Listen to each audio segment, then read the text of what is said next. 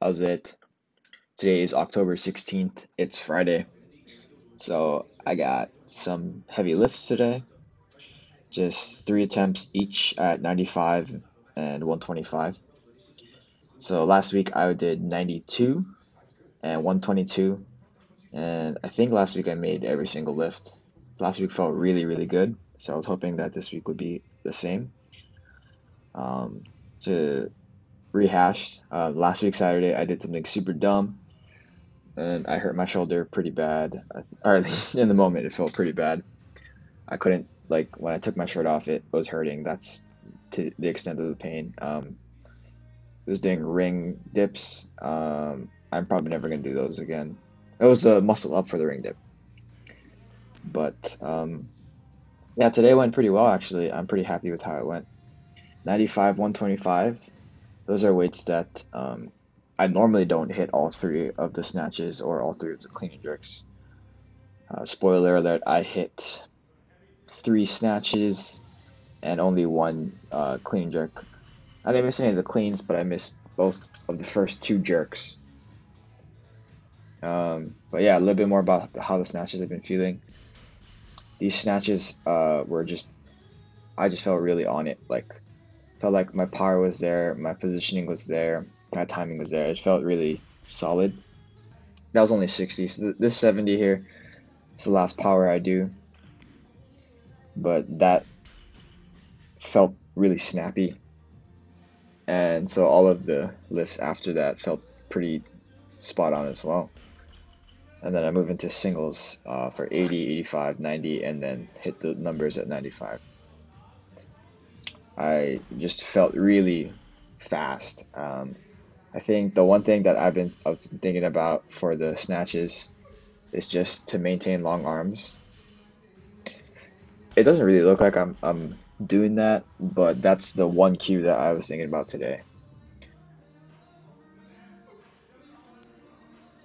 So even there, 90s usually doesn't feel like that. 90 usually feels a little bit softer, a little bit timing a little bit worse, but yeah. So that one I was a little bit on my toes from the, the ground and, and I tried to fix it on the next two and I believe I do fix it on this one. A little soft there, but um, it just feels snappier, feels stronger, feels faster. So there we go. This is one of the, the best snatch days I've had in a really long time. Like uh, 95 is right around 95%, you know? So I had uh, three singles at 95, which is, um, as far as consistency goes, that's very huge for me. So I moved into clean and jerks here, and Steve was mentioning earlier when I did uh, talk to him that a lot of my dips for the power jerk, my knees um, kind of track a little bit too far forward. And so what that creates is a little my hip sometimes uh, drifts forward, and so the bar has to either go really far back to to fix that, or the bar is just gonna go forward. You know, like so my hips are gonna move forward, then the bar needs to go um, over the center of gravity to fix that, or it's gonna follow my hips because that's basically where my center of gravity is, and it um, was really challenging. So I was working on these pause pause in the dip. So right here, this is my last uh, the dip, and then a regular dip, and it did help quite a bit. Um, but the thing that I've been dealing with is that like, if I load my hips and my my my glutes a little bit, then my dip becomes slow. And if my dip is slow, then a lot of times my positioning gets is off. So I I think I just need to work on that a little bit. Um, it was the reason why I missed the first two jerks, and it was also the reason why I made the third jerk. So that was that. Here's uh 110. This is probably that was one of the stronger cleans I had for the day. Also one of the stronger jerks I had for the day. I moved to 120. Last week I did 110, 115, 120. And this 120 clean was a little soft. It felt like um, I just had to sneak under. The jerk here is really uh, was really good though, as far as that hip, the hip shift that I I was talking about earlier. And so I moved into my first 125. The clean was very similar to the 120, where I didn't get proper extension.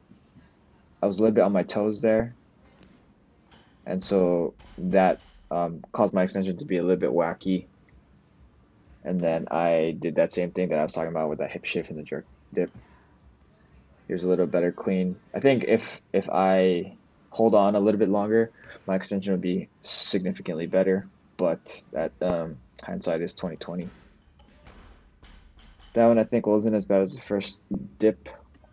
It just didn't have the strength there. I think. shorted my extension, but it was okay. It was better positioning overall. Um,